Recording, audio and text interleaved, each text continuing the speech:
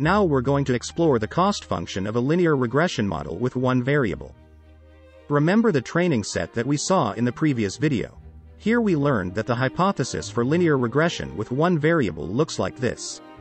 With theta 0 and theta 1, the parameters of the hypothesis and x being the input variable. What we haven't seen yet is how we can choose these parameters. What should the value of these parameters be? Or in other words what line will fit best through our data? That's what we will see in this video. First let's recap what will happen to our hypothesis if we change the parameters theta 0 and theta 1. Let's look at these three examples. In the first example we set theta 0 equal to 0 and theta 1 equal to 1. This will result in the following hypothesis. In the second example we make theta 0 equal to 1 and theta 1 equal to 0.5. And lastly we show an example where theta 0 is equal to 1 and theta 1 is equal to 0. So now to come back to our question. How can we choose values for theta 0 and theta 1 to get the best fitting line through our dataset? Well, the idea is to choose the values for the parameters so that our hypothesis is close to the real value, y, of the training examples. In many cases, there is still an error between the predicted value and the real value. So the goal is to minimize the error between the hypothesis and the real value of the training examples as this will guide us to good values for theta 0 and theta 1. We will express this minimalization problem with a formula. We want to minimize the total error of all training examples. This is done by taking the sum of every error between the value of the hypothesis and the real value of y. We want to sum over the entire training set, so we sum from 1 up to m, which is the total amount of training examples. Note that we only want positive errors so that we can sum them up. For this reason we will square the error. Further we also add a term 1 over m to take the average error. And we add a term 1 over 2, which is just a constant to make the upcoming math a little bit easier. This term that we just wrote down is also called the cost function for linear regression with one variable and is denoted as j.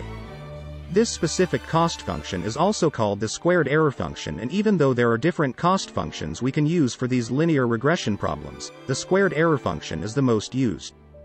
So to recap our goal. Our goal is to find the best values for theta 0 and theta 1 by minimizing the cost function which is dependent on theta 0 and theta 1.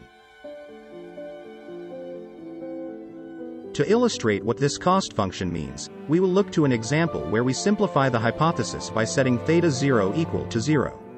In this case we will try to find the best value for theta 1 and our hypothesis will be simplified to theta 1 times x. If we look at these data points on the graph, we see we get the following training set, with three training samples. The first training sample will be data point that has x equal to 1 and y equal to 1. The second data point contains x equal to 2 and y equal to 2 and the third and last training sample is 3, 3. Remember that we use the notation superscript 1 to denote the first training sample. Superscript 2 to denote the second training example and so on.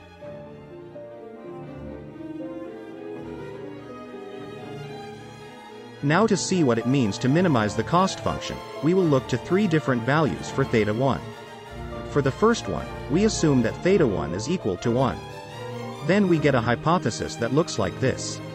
Next, we can calculate the cost function. As there are three training examples in our training set, m is equal to 3, so we can plug 3 into the equation. Next, we can calculate the three errors between our hypothesis and the y value of our training examples. The first training example has x equal to 1 and y equal to 1. If we plug this x value in our hypothesis we get an estimated value of 1 times 1. So h of x with x equal to 1 is 1 and y is 1. So, we get 1 minus 1. Next we can do the same for the second and third training example. Which will give us 2 minus 2 and 3 minus 3. If we calculate the value of the cost function for theta 1 equal to 1, we find a value of 0.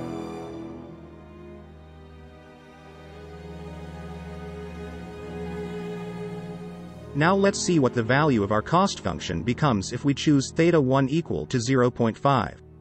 Our hypothesis will now look like this. Of course the value for m and the values for y superscript 1, superscript 2 and superscript 3 will stay the same as we are still working on the same training set. Only the value of the hypothesis will change and this again illustrates that the cost function is only dependent on theta 1 and theta 0. Only these parameters will vary, they are the dependent variables of j all the other parts will stay the same. We can now calculate what the hypothesis predicts if we give it as input x superscript 1 which is 1. This will give us 1 times 0.5 which is just 0.5. We can do the same if we give the hypothesis as input x superscript 2 which will result in 2 times 0.5 and we can also give the hypothesis as input x superscript 3 which will be 3 times 0.5.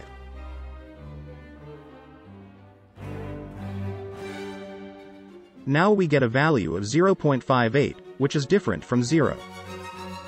Before we look into what this means, we first calculate the value of the cost function for one more value of theta 1. Now we will set theta 1 equal to 1.5. And if we follow the same principle as the last two examples, we will also get a value of 0.58. We can now look what it means to minimize a cost function. But before we do so, please consider subscribing as this will really motivate me to make better videos and so you never miss a new video. That said, let's now plot these different values we just calculated in a graph. We can plot the values of j in function of theta 1. For the first hypothesis, which is indicated with the blue line and which had theta 1 equal to 1, we got a value of 0. For the second hypothesis, indicated with a yellow line and a theta 1 of 0.5, we got a value of 0.58 and lastly for the third hypothesis, indicated by the red line and a theta 1 of 1.5, we also got a value of 0.58. So, as you can see, for every different value of theta 1, we get a different hypothesis and thus a different line through the data. In fact, if we would calculate all the possible values for theta 1, we get a continuous function of theta 1. This continuous function is called the cost function and it can tell us which value for the parameters, which in this case is just theta 1, because remember, we simplified the hypothesis by putting theta 0 to 0. It can tell us which parameter values will give us the hypothesis that fits best through the data. All we have to do is to minimize this cost function or in other words, find the minima of this function. For this example, it is quite clear that 1 is the optimal value for theta 1 as it will give a cost of 0. Or in other words, the predicted value by the hypothesis is the same as the correct answers in the training set.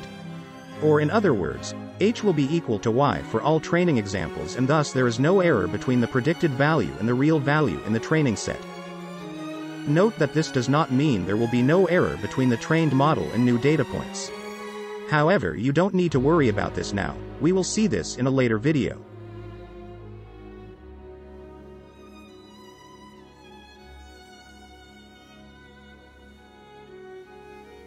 I would like to point out the difference between the hypothesis and the cost function. The hypothesis is our model that we want to train. It will try to predict the outcome of unseen input values. For example, what the price of a car will be, given that it has 300 horsepower. It is a function of x and given a certain input x, it will predict a certain output. The cost function on the other hand is a function of the parameters theta 0 and theta 1. It will learn us what the best values for the parameters of our hypothesis will be. It is a very important function in training our model so that our model will be able to make accurate predictions. Now, in the next part we will see what happens if we don't assume that theta 0 is equal to 0. If you look at this graph, it is quite clear that the hypothesis is not optimal for this training set.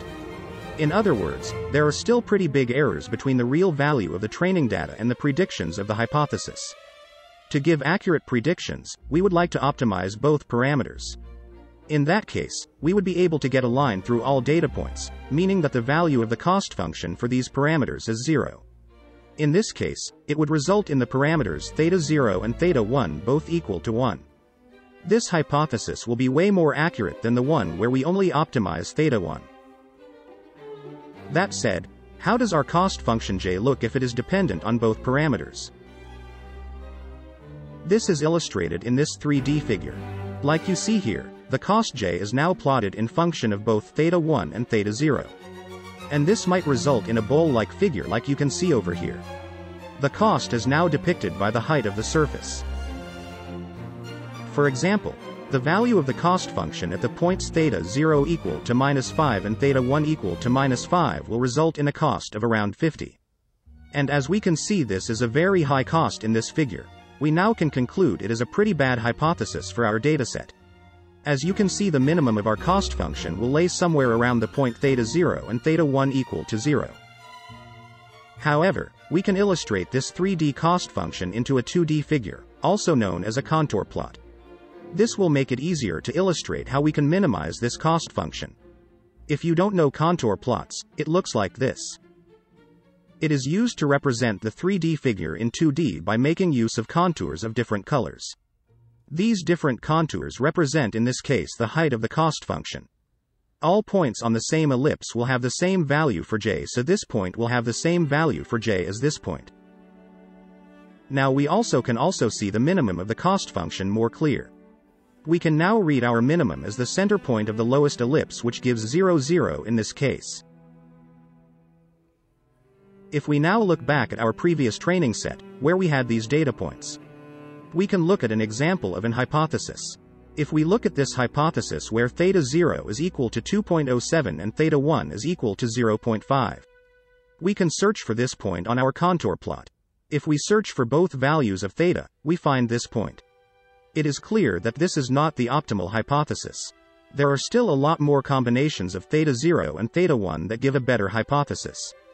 In fact all the combinations between this ellipse will give a better hypothesis as the value of j will be smaller. Previously we saw that the optimal values for theta 1 and theta 0 were both 1 and indeed if we look at the contour plot. This is true. And if we indeed set the parameters of theta 0 and theta 1 equal to 1, we get the following hypothesis. This is an optimal hypothesis. However, we don't want to visually look for the optimal parameters. This wouldn't even be feasible anymore as we will see in the following videos that the amount of parameters can become really large. We will later see problems with more than 20 parameters, thus also getting theta 2, theta 3 and so on. This will not be possible to plot anymore. So how can we analytically find the best values for theta? Well, we want an efficient algorithm that can calculate the best values for the parameters for us. This can be done with gradient descent. it This will be what next video is all about.